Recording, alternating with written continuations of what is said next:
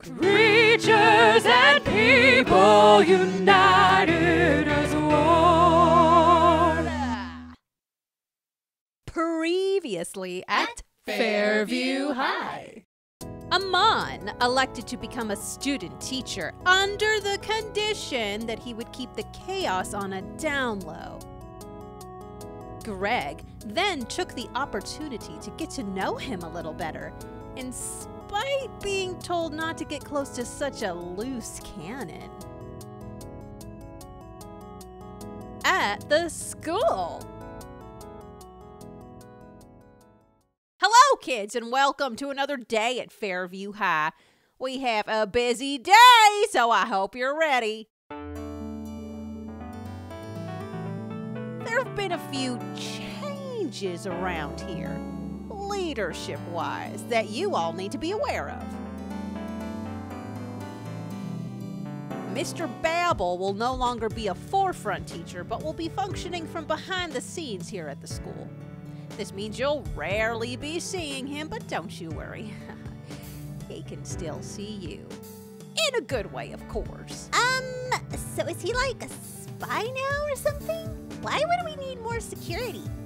Did something bad happen? Don't you worry your pretty little head off about it, because I'm going to be the new school principal. I'm working on filling my own slot because, well, heck, a student teacher and an actual teacher are two very different things. So, are we getting a new teacher then? Yes, Greg, there will be a brand new but highly trained teacher coming in next year. Moving on. Now, some of you have been asking where Elian is lately. Well, I can't tell you where he is per se, but I can tell you that he will be back in time. Well, he only told me that he had to go on a journey of some sort. I don't suppose you know exactly when he'll be back, do you? No, Andrew, I don't know the exact day he'll be back, but he will be back eventually. I guess I can't really complain. He put me in charge of his house and his horses. It's quite lovely there where he lives. Where I'm staying, I mean. Well, there you see, everybody wins. I suppose you're right. Save your questions because today, Mark and our new student teacher, Amon, will be leading a class discussion about the events that have taken place this year. I know you kids have seen a lot and have really grown. So they'll be answering any questions that you may have about the things you've learned this year. Man, are we going to have a pop quiz or something? That's up to them, Nick. But keep your pants on because I have one more thing to say. Kirsten, will you please come to the front of the class? Sure thing, but let's make this fast. My baby is hungry, hence my leaking shirt. I gotta get back home to Fred because I didn't make a bottle of breast milk. Then I'll make this short and sweet. Congratulations, Kirsten. You have graduated from Fairview High. Here's your diploma.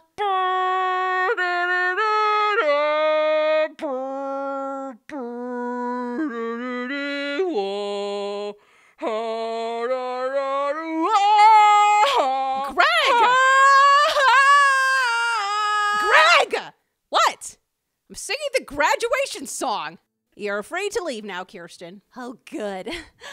Bye, everyone. It's been fun. Wait, Kirsten, do you want to have a graduation party at my house? My mom is like, never home. She's doing some kind of top secret mission that she won't even tell me about. No, Kirsten needs to leave. Kirsten, get out. I'm Going, I'm going. Sheesh. Thanks, Amanda. But I have to watch baby Vincent round the clock since he's still a newborn. Bye, Kirsten. Bye, Markifer. Hey, uh, Mr. Witt, aren't you gonna graduate me today, too? Oh, yes. About that. I do not believe you are ready to graduate there, Mr. Ryan O'Brien. What? Are you serious? Indeed, I am. Oh, man! Does this mean I have to wait another freaking year? That's highly likely, yes. Wow, that sucks so bad it's not even funny. You'll be better equipped to take on the real world in a year, Ryan. Mark, where is Amon? Um, I think he's outside. He likes to walk around the school. I'm gonna go get him. You may now start the class discussion.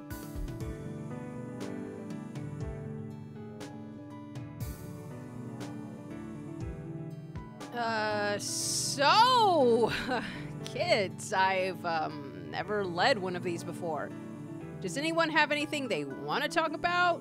Any questions about the school or something that happened at the school?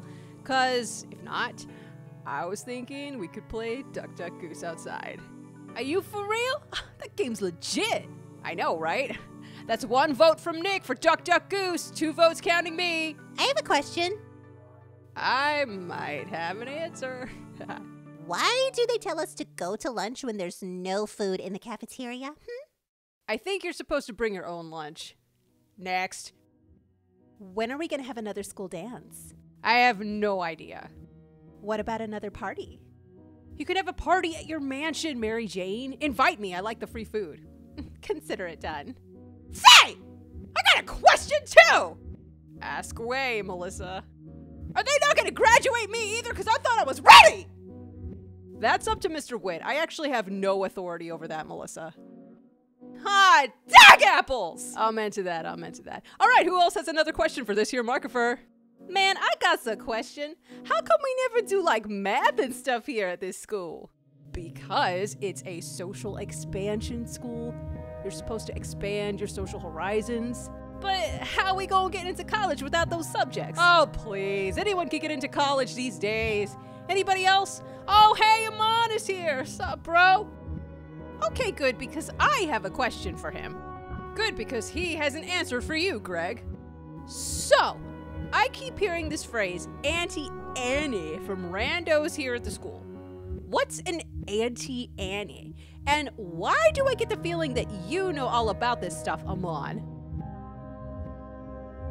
They are an evil organization, the Auntie Annies. What does that mean, though? Auntie Annie.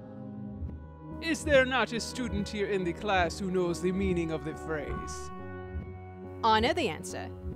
But perhaps you still think me to be too mediocre to respond.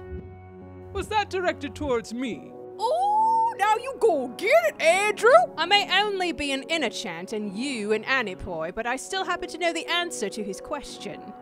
Settle down. I have nothing against inner chants. What even makes you think I find you mediocre? You said so yourself. At camp.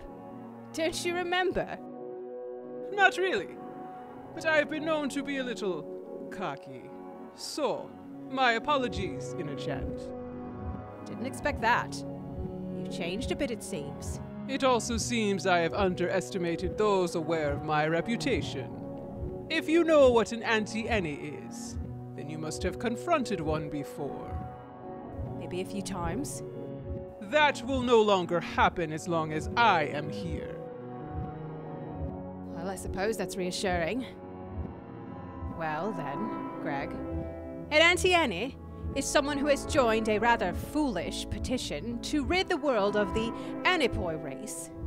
It's really a waste of their time because Anipoi are quite powerful and nearly impossible to defeat. Can they do magical spells like you? It's hard to explain. Amon here is an Anipoy. Yeah, I seen him do some cray cray shiz, yo. Me too, Nick. Like, get drunk and then get over it in like two minutes. Nah, Mark, I mean like that one time when we was at camp and he like blew up a tree or something. It was cray. That's not very nice to the environment. You are mistaken. That was a lightning bolt that hit that tree. But I find it interesting that you and the Inna remember these things. You would be amazed at how most people disregard the supernatural. So you're some kind of a sorcerer. Not at all. These powers are my own. I do not manipulate nature to bend to my will. Lightning is simply attracted to me, and I benefit from that attraction. They're called beams, Lindsay. Light beams, that is. Like a form of radiation, and quite dangerous. I can only do very little with them as of now. That is correct, Inner Chant. Wow, Rat Smithers! I didn't know you were so educated. Why do you call me Rat Smithers, Mark? Um, because it's awesome. Okay, wait, Mr. Amon. Mr. Amon. That's almost as great as Mr. Mark. I thought you were some sort of Egyptian pharaoh. That's kind of what your buddy Andrew told me at Nick's party.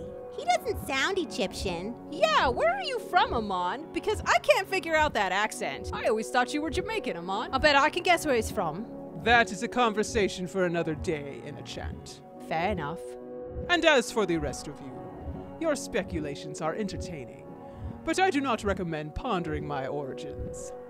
In regards to the comment about my being royalty, I suppose that is accurate to some people. so you are a celebrity. I knew it. That is the last thing I wish to be.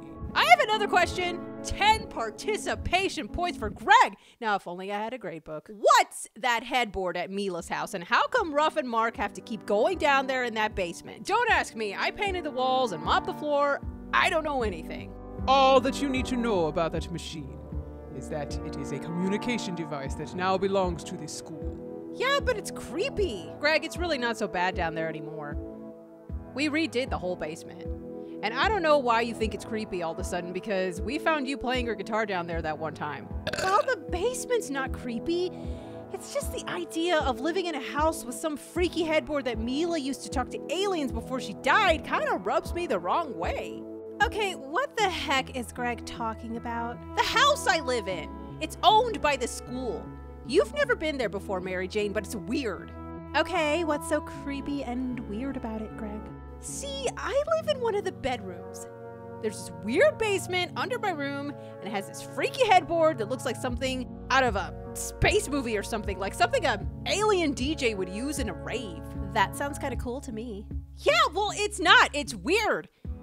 And not to go on a rabbit trail, but Fred moved out with his cat, which made Guido sad because he used to cuddle with the cat when I wasn't home. Now he's all alone all day, and Guido ain't no disc jockey, okay?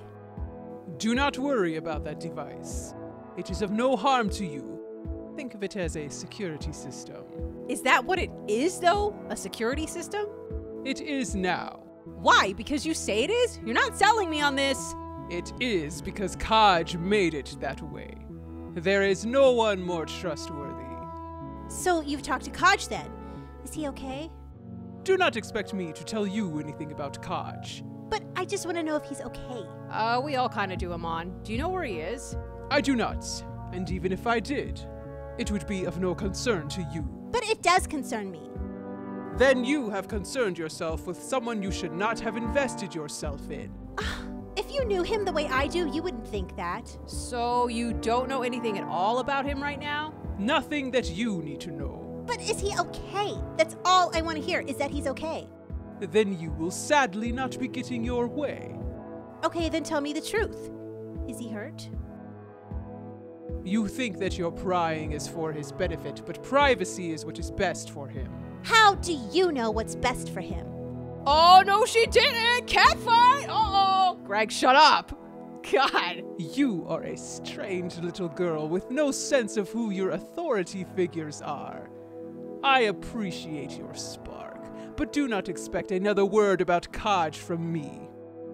Well, then at least tell me what an alternate is because no one has been able to explain it to me and I'd like to know. Very well. I will explain it to you thoroughly so that no more questions shall be asked. Thank you. An alternate is an aneuploid with a very high tolerance for pain. They are extremely rare and have the ability to receive powers like mine into their own body for healing purposes. You would be so lucky to come across one in your lifetime because when death puts one to sleep, his age will remain suspended until he awakes, sometimes decades later. Alternates lose many of their memories while they sleep. Although, considering the violence they endure, perhaps not remembering is for the better. Oh. I guess. I guess that makes sense when I put it all together. Then that answer must pacify you. It does, and it kind of makes me feel better, just in kind of a sad way. I don't know. There was something kind of biased about that story to me. Hey, guys. How about we talk about the school, huh? Anybody interested in starting a club or something? Clubs are lame. You're lame. I know you are, but what am I? Amanda, what you talking about? Clubs are cool. Yeah, maybe if we had more people here. There's not even 20 people in this class. There's not even 20 people in this school. Mary Jane's right. Why do we have a class in such a big building when we're the only students here? Are there other people here that we just don't see? Not that I'm aware of. I know, Amanda. That's just plain suspicious. Okay, I'm back. Here's your diploma, Melissa. Oh, hey, all right. All right, now, have a nice life. You're excused. Congratulations, Melissa. Thanks a freaking million, Lindsay McFinsey. If that's even your real name. Um, it's not even close. That's what I thought. See you around, guys. Okay, kids, continue. I'll be in my office. Boy, graduating from Fairview sure is anticlimactic. Well, actually, Greg, if you graduate with an A, it's not. Remember when I graduated? They had you guys throw me a party. You know, like they did with Fred. Psh, Fred. I'm so glad he finally moved out. Guido, on the other hand, is bummed. Like I said before, Fred's cat was Guido's best friend. I think he liked her better than he liked me. I'm sure that's not how the cat felt. No, she liked him. I seriously used to find them cuddling on the couch. Aw, that's so cute. Yeah, it really is. What can I say? I know how to pick them. Kids, do you want to like play outside on the playground or something? It smells like a fart in here. Big time. Yes, God, please. And not just a fart, a sour fart. Sick, man, that's so gross. You know, your strong reaction to me pointing it out makes me think it was you, Ryan. What? No way. For real, though. Are we gonna play a game outside like freeze tag or something? Yeah, that's a good idea, Nick. Hey, kids, okay, go play freeze tag. I'll be the captain of Team Markifer, and Nick, you be the captain of Team Nicholas. That's what I'm talking about. Yo, Ryan, you on my team even though you farted. Oh, nice. I'm picked first. I must be popular. And hey, that wasn't me. Dude, you're only competing with like eight people. Mark, I want to be on Team Markifer. Your wish is my command, Gregory. I don't think we have enough people to play this game. Plus, I'm not wearing the right shoes. Then you could be on Nick's team. All right, everybody on the playground, let's move. Do you not think you are all a bit too old to be playing children's games? You have to be on my team, Ahmad. Let me have my own team, and I am sure I will triumph against all of you. Just for that, I'm making you the referee. Andrew, you're on Team Markifer. What is this game again? Freeze tag, you said. Is someone going to show me how to play? Ah, you'll figure it out. Yo, Marcia, you on Team Nicholas? Sounds good to me, Nick. Um, hello? How come all the team leaders are guys? Because that's life. Amanda, you're on my team. What team am I gonna be on? Mary Jane, you just said you didn't even want to play. I choose you, Lindsay. My team is done. Mary Jane, you're on Team Markifer. Holy crap, is this the whole class? Did everyone even come to school today? I know, I feel like we're missing some people. That's because two people just graduated. And Mandred left, and Sami left, Mila died, and like nobody knows what happened to Ruff. Plus, Mr. Babble is like hiding in the walls or something. Does this game have something to do with it being cold outside today? Nah, but once you start running around, you'll warm up. Or we'll catch a horrible cold. No, we'll be sweating by the time we're done. It's true, Mary Jane.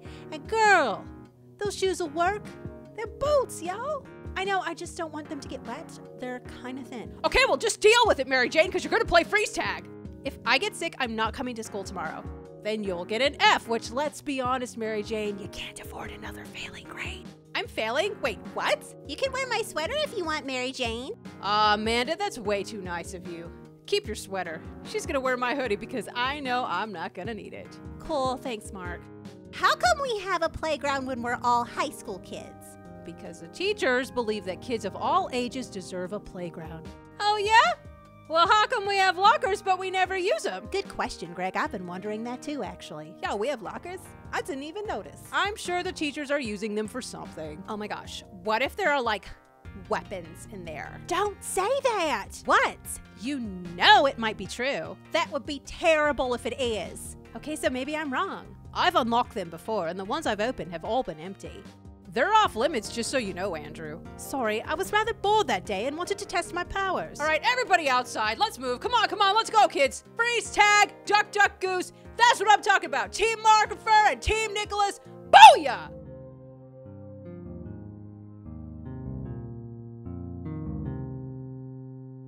End of episode 20. Fairview High.